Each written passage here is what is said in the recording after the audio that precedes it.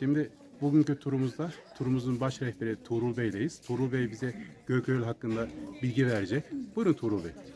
Deməli, e, 1139-cu ildə Gəncədə Kəpəz dağı deyilən bir dağımız var. O, o vaxt Gəncədə zəlzələ baş verir və Kəpəz dağın bir hissəsi aşır, Ağsu çayının qarşısını kəsir. Onda belə bir gözəl bir göl yaranır. O e, ümumi olaraq 19 dənə burada göl var.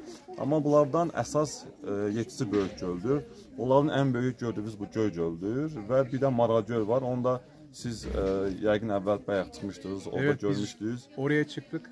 Evet. Çin Seddi gibi basamaklar var. Bəli, 296 dənə, 300-ə yaxın basamak var. Evet, yəni ben zevk, deyilir. zevkle çıktım. Çünkü Türkiye'de yürüyüş de yapıyorum. Doğa yürüyüşleri de yapıyoruz. Çok güzel. Ondan dolayı e, güzel oksijen eşliğinde yorulmadan çıkma şerefine nail oldum.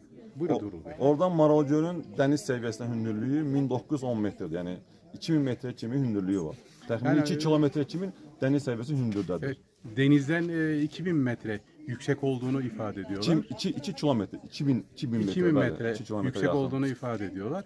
Bu e, Göl Göl'de 1500 1600 yaxın, 1600 1500 metre əla, 1600 yüksekliğinde yaxın hündürlük. bu bölgedeki en büyük göl oluyor. Bəli, bəli. Və bu gölün təxmini uzunluğu ümumi olaraq 2800 e, metrdir. 3 kilometrə yaxın uzunluğu var. Bir başından o başına kimi 3 kilometr 3 kilometrə yaxın uzunluğu var. Bu gördüyümüz ərazi isə bizdə Göygöl e, Milli Parka gedir, həm də e, qoruq kimi gedir. O Azərbaycan ilk qoruğudur. 1925-ci ildə yaranıb, gələn il hətta 100 illik olacaq.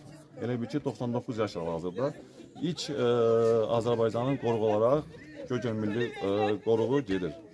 E, belə. Və bunun ərazisi olaraq böyük ərazi, böyük əraziyə malikdir. Evet.